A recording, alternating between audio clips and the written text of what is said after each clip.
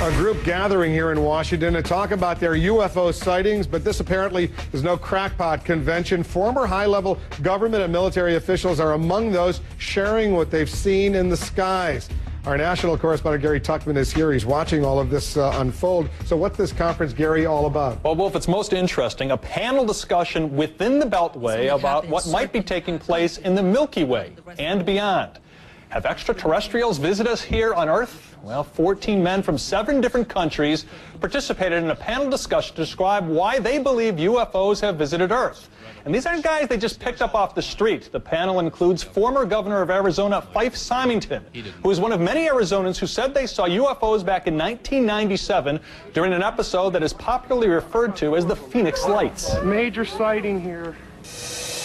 We want the United States government to stop perpetuating the myth that all UFOs can be explained away in down to earth and conventional terms. Instead, our country needs to reopen its official investigation that it shut down in 1969. Also participating was a retired Air Force captain who says he and his passengers saw a huge flying disc. Also a retired Peruvian Air Force pilot who says he came within 300 feet of a circular UFO flying at 63,000 feet. And then there is a retired U.S. Air Force security officer who, while stationed in England, was summoned to a downed aircraft in a forest.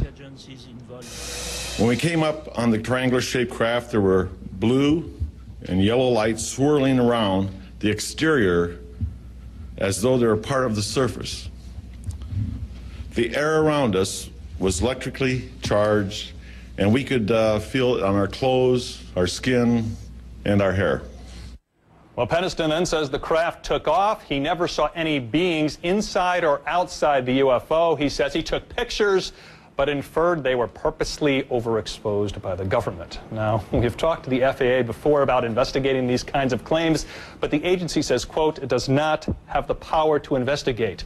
We've covered a few of these kinds of stories before, Wolf, and one thing that we always mention to the enthusiasts is if one of these craft came down on Earth and did an interview with one of us, the debate would be over. But that hasn't happened yet. Hasn't happened yet, but there's, you know, who knows? Could, could happen. Gary, thanks very much for that report. Uh, by the way, there have even been some UFO sightings reported right here in the nation's capital. There was a flurry of them back in July of 1952 when the Air Force investigated but was never able to solve or prove anything. Take a look at these headlines. Ariel, what's its uh, buzz? D.C. again. Air Force uh, after DC saucers, jets ready to chase lights, jets ordered to hunt down flying saucers. There was a lot of hype, a lot of excitement back in 1952.